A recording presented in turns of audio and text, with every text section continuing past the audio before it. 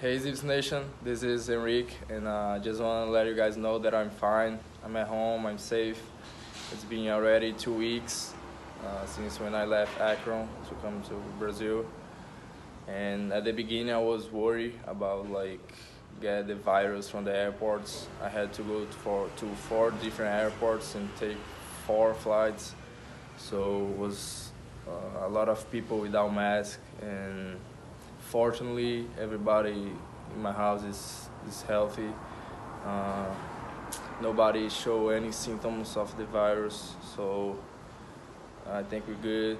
We're all in quarantine right now, as you can see outside my streets zero movements and it's sunny outside probably 86 nice to go to the beach but you gotta stay here so with that i will show you a little bit of my routine at home where i do my workouts where i do my online classes where i play games with my family have fun with my dogs and where i play my video games. So i hope you guys enjoy. So it's almost lunchtime at home. My mom is cooking a picanha brazilian steak. I'm so excited for that.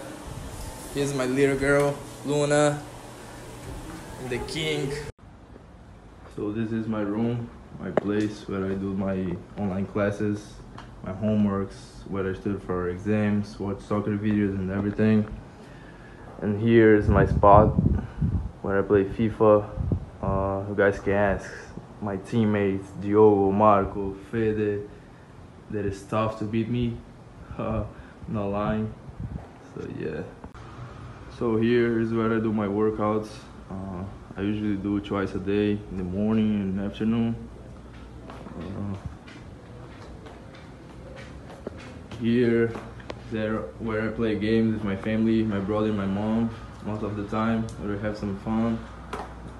Here, I have to mention that my espresso coffee, I have every day, part of my routine. So I want to say thank you to you all for the support during this time.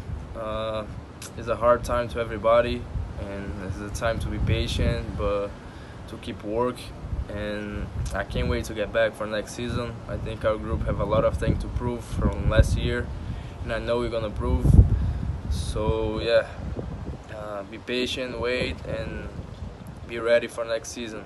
Go Zips!